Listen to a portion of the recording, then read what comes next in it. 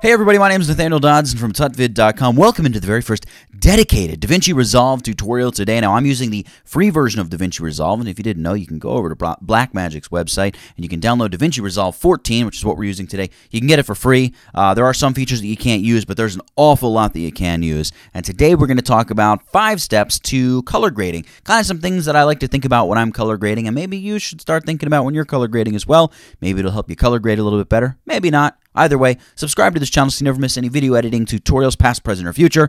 Uh, let's jump into DaVinci right now and check this thing out. Alrighty, here we are in DaVinci Resolve, and uh, like I mentioned, this is still the free version of it, but there's an awful lot you can do with the free version. And I've thrown a few clips here onto my timeline. I think I'm going to begin with this clip here. It's just a clip where it's sort of out of focus and it fades to in focus. A guy on a moped comes riding by and, and all of that. We can do some color correction and grading to this clip, and I can walk you through my process a little bit. My first tip in terms of color grading here in DaVinci would be establish a workflow that works for you. Generally speaking, the way I attack a new piece of footage is I try to correct the exposure. This might be a little bit dark, right? Uh, then I try to establish the contrast. Does it need a little contrast? Not. Sometimes the contrast is fixed just by fixing the exposure. I go ahead and correct the color. This is not necessarily doing the creative color grading stuff. This is trying to find a baseline where it's like, okay, this is kind of what the footage looked like. Then I'll go ahead and adjust saturation if need be. A lot of times, especially if you're shooting in log, you're going to have to adjust your saturation. So if we have to do that, we'll do that. And then the last step would be applying color effects, a custom grade. If I'm matching colors to another scene in the film that I'm shooting, or maybe matching colors to a major motion picture, whatever it is, or importing or using an existing LUT. All of that I like to do at the end. Now, typically I would use multiple what are called nodes when I'm doing this type of editing, but I think to keep the tutorial simple today, we're just going to do everything and lump it all onto one node, which is not ideal, uh, but we'll find a way to make it work for us today. Now, the second tip that I want to go over is use your scopes. So I'm going to pop out the scopes. By the way, if you don't see the scopes, you can right click and just choose show scopes. You right click on your footage here, show scopes, and we'll pop the scopes out. And you're going to see, well, now I've got the four up happening. Before it was just the single when it was down there in its little in its little nesting spot. Um, with four up, we have a few different kinds of scopes. We have the RGB parade, we have a waveform, we have the our traditional histogram, and we have a vector scope. The two that I'm really kind of most in tune with here are the vector scope and the wave waveform. They're the two that I find most useful. Uh, so let's take a look at them. I'm going to go one up here and I'm going to go waveform. Let's talk about the waveform. I'm going to choose a different shot here. The cool thing about the waveform is it is a visual representation of what's going on in your photo. For instance, it reads left to right exactly as your picture is. So right here we can see I'm overlaying this image here over my waveform. And we can see how all the buildings are lining up with these peaks. And yeah, there's a lot of blue. See that blue line that's pushed up? That's saying that you've got a lot of blue in this image, a lot of blue in the highlights. And sure enough, yeah, up here in this top part of the, the image, the, this, this shot, there's a lot of blue. The fact that reds are depressed in the foreground should indicate to us that, well, because cyan is the opposite of red, there's probably a heavy cyan cast in the foreground. And sure enough, we look at the image and there is a, a heavy cyan cast there as well. So there's a lot of information you can get from your waveform. And if we do something like, uh, I'm just going to come over here randomly and push the greens up, you're going to see that our green line is moving up while the blues are moving down. Then if I come into the gain, which kind of targets the highlights more, and I pull this way over to push the blues down, just watch the blues plummet right? So you can push them way down. Now it destroys the image, so I don't like that. I'm going to undo everything that I just did. But the point is, the waveform is a really, really powerful tool. Now the second thing I want to talk about is the vector scope here. Now the vector scope as you can see here, I've got another overlay. This is just an indication of color. So it's going to tell you what type of color and how saturated that color is. And just like with the color wheel, up here we've got our reds, and these boxes kind of indicate, and they've got the little letter next to them. This is, would be magenta, we got blue, we've got cyan, green, and yellow. And then this little white scuzzy bit in the middle, kind of the, the farther it's shooting in any given direction, it's indicating how saturated that particular color is. Again, let me give you an example. If I go to my gamma and I push a ton of green into this image, you can see that there's a noticeable shift of this whole thing down toward the green. Now remember, a lot of our blue is contained in the highlights. So if I come to the gain, which is targeting the highlights, and I say, you know what, you let's get some of the green out of there, or some of the blue out of there and swing green into there. Look at how drastically we affect this vector scope. We can read this vector scope and say, all right, in whatever the shot is, I wouldn't even need to look at the, the crazy green Mountain Dew-esque shot we have. But just by looking at the vector scope, I should be able to tell you there's a lot of green in this shot and it's very saturated. So the vector scope can be extraordinarily important and useful, especially when you're matching color or just checking to see why does why does the shot seem off? Is there a color cast? Is something crazy going on? I'm just going to come up here and reset my uh, UI layout here, and you can select this little icon to bring up your scopes once again. Now, the last one that I'll just touch on for a second here is the RGB parade, and that's just fairly self explanatory. Again, if I go back to the shot of the city, we can basically just see, yeah, there's a ton more blue in the shot than green or red. And as I push colors around, these will move around. I'm going to go and live with the waveform for right now, and like I said, we're going to work on correcting this shot or doing just messing around with this shot a little bit. So let's add a node. We're going to add what's called a serial node. We can come up here to nodes and choose add serial node. The hotkeys are, are really useful here. The option S, this would be alt S on Windows, and also the disable current node. I use that a lot as well. Command or control D. That just allows you to sort of, you know, take away what you just did temporarily. So we're going to add a serial node, and you can see there it is. A, an interesting way or a good way to think about your serial nodes is like adjustment layers in Photoshop. You can apply all kinds of color effects to a particular node, and you can add a second node, option S, and apply a bunch more effects to this particular node, and then uh, add another node, apply a bunch of different effects to that. And then anytime you can double click a node here and then just Command or Control D, you can just uh, temporarily disable it and see what's going on. I'm just going to right click and delete these two nodes because we don't need them. We're just going to work on a single node as I said before. So we're going to work here on node number one. I'm going to right click and choose Change Label. And well, let me choose Change Label again. And we're just going to call this uh, correct or something. I don't know. We can choose anything. And I'm going to use my color wheels down here. Now, I'm working with the primary color wheels. There are primary bars and log wheels as well. Uh, but to keep things simple, we're just going to work with primary wheels. The lift, this is generally your shadows. Gamma is kind of your midtones. And gain is going to be the brighter areas of your image.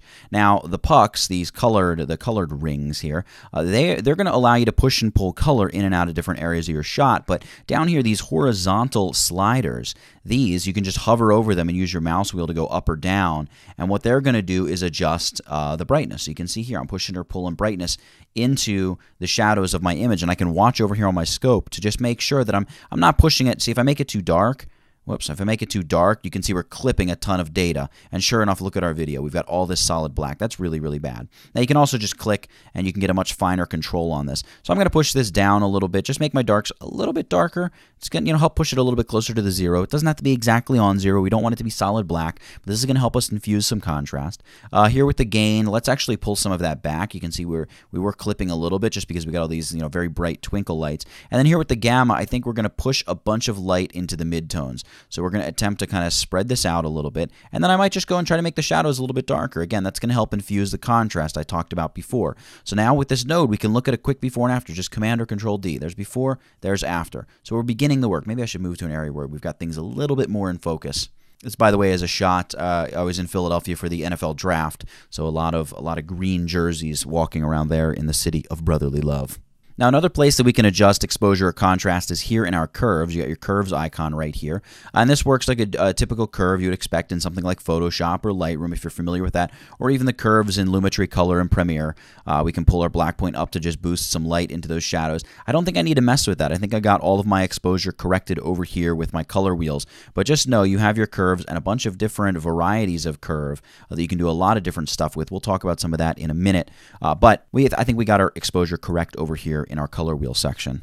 So let's move along now and talk about the fourth thing, the fourth tip for color grading and correction here in DaVinci Resolve, and that's color correction. Uh, we've got a bunch of options down here on this bottom bar, temperature, tint, uh, midtone detail, color boost, and shadows highlights.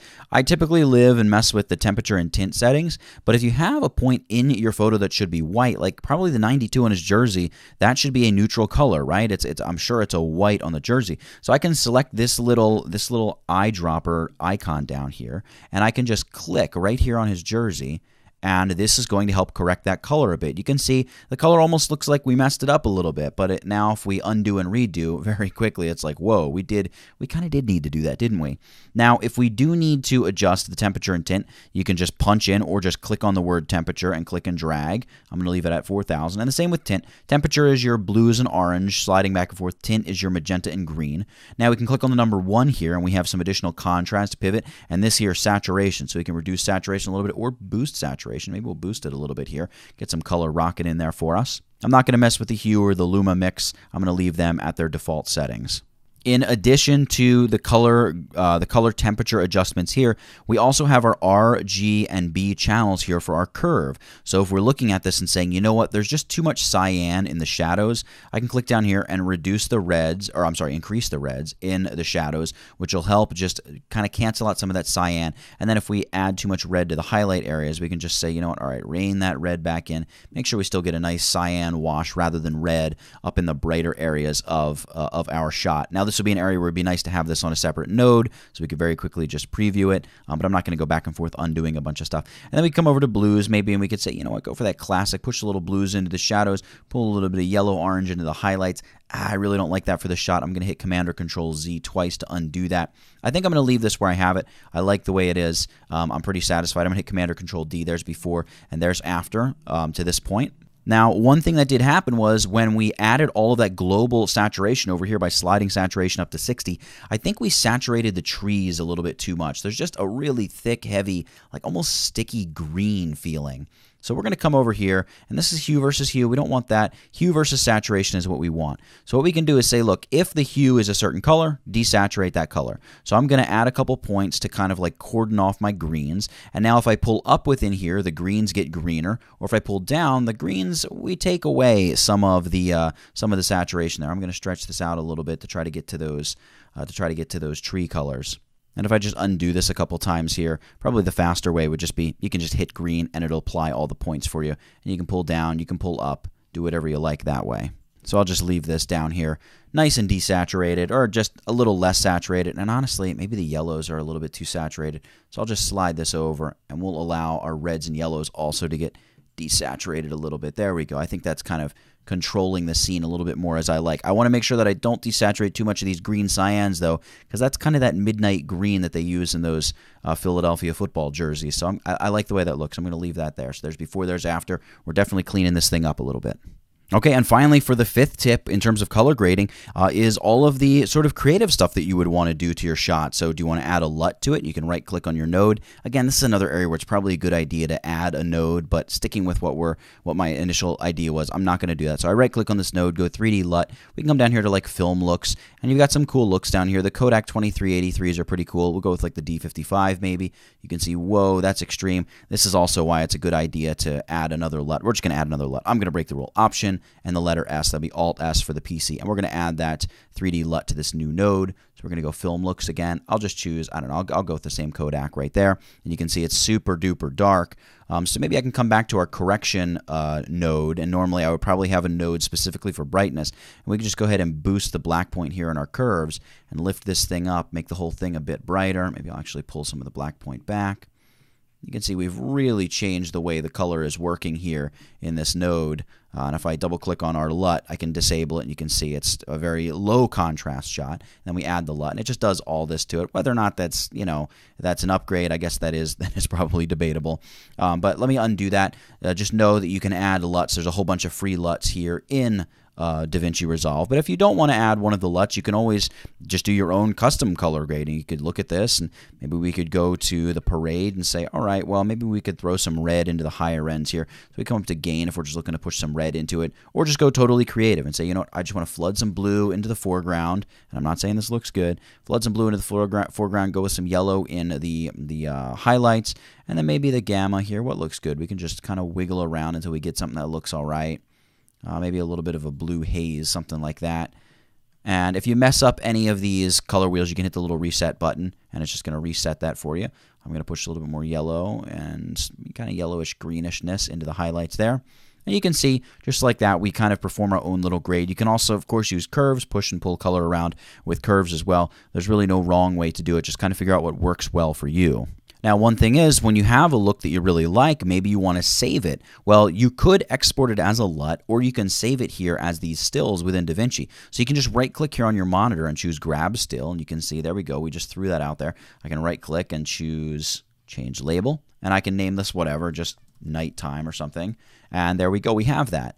And then we could come to another shot, like this shot here of City Hall. We could right click on this still and we could just choose apply grade. And there we go, we've applied it. Now it looks radically different because the, the exposure of the shot is totally different. But if we use like magenta sunset here and apply it to this shot of City Hall, we can go apply grade, and you can see it totally changes. We add all these different nodes. We've got something going on here. I'm going to undo that though because I don't want to do that.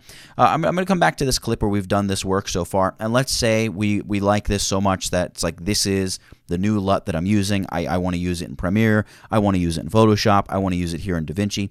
Well, we can right click on this clip and we can choose generate 3D LUT. I usually go with the dot cubes, so I'm going to do this, and then I can just choose to save it wherever on my desktop, and I, I'm just going to call this temp LUT. And if I just save it, temp for temporary, obviously, there we go. We've exported that LUT. So between the built-in LUTs that you have here uh, in DaVinci Resolve, a lot of great stuff.